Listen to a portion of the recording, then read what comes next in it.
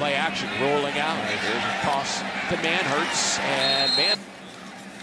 Trevor under pressure, turns and fires, and this one's caught by Marvin Jones. Center this time.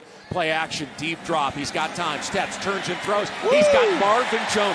Who? Um, KingfishPest.com. Play action, pressure coming. Here's a quick toss, and it's grabbed by Zay Jones. He's got a first down. In. Lawrence looks left, turns and throws, and he's got a man in his cross. That's Christian Kirk at the 15-yard line. Turns it.